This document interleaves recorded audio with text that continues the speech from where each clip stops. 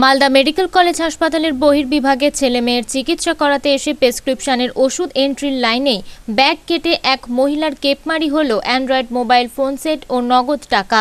Prescription নিয়ে বাইরে যখন ওষুধ কিনতে যান, তখনই দেখতে পান যে তার ব্যাগ কেটে সমস্ত কিছু খোয়া গেছে।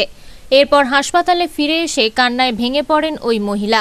কি করে শিশুদের ওষুধ কিনবেন বা কি করে বাড়ি ফিরবেন সেই চিন্তায় মাথায় হাত পড়ে যায়।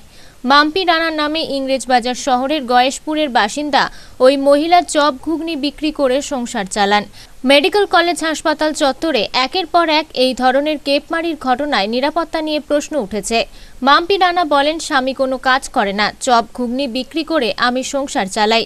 ছেলে ও মেয়ে অসুস্থ থাকায় মালদা মেডিকেল কলেজ হাসপাতালের আউটডোরে চিকিৎসা করাতে এসেছিলাম। কিন্তু আমার ব্যাগ কেটে এভাবে যে টাকা ও মোবাইল চুরি হয়ে যাবে তা আমি ভাবতে পারিনি। এখন কি করে ছেলে মেয়েদের ওষুধ কিনবো তা ভেবে কুল পাচ্ছি না। এসেছিলেন? এই যে হসপিটালে। কোন হসপিটালে এসেছিলেন? মালদা কলেজ মেডিকেল হাসপাতাল আউটারে। হ্যাঁ কি করতে এসেছিলেন আপনি এখানে?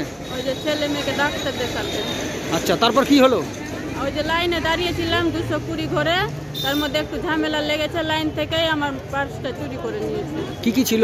মোবাইল আছে টাকা আছে বড় মোবাইল। আর কত টাকা? আট নশো আছে হাজার টাকার মতো। এখন কি সমস্যায় পড়েছেন? এখন যে আমি বাড়ি যাব টাকা নাই। এখন মেয়ের ছেলের ডাক্তার দেখিয়ে ওষুধ কিনবো। ওষুধও কিনতে পারছেন না? না কিনতে পারছি না। আপনার নাম? মাম্পি রান্না কোথা থেকে এসেছেন?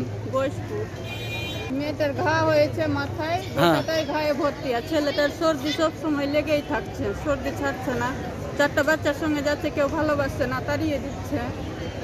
কেন বলছে করোনা হয়ে গেছে এরকম কিছু বলছে? হ্যাঁ চোখ ঘুগনি বিক্রি করি আমার বোর এমনি কিছুই করে না আমার সঙ্গে দোকানদারি করে। মালদা থেকে দেবু সিং এর রিপোর্ট আনন্দ বার্তা।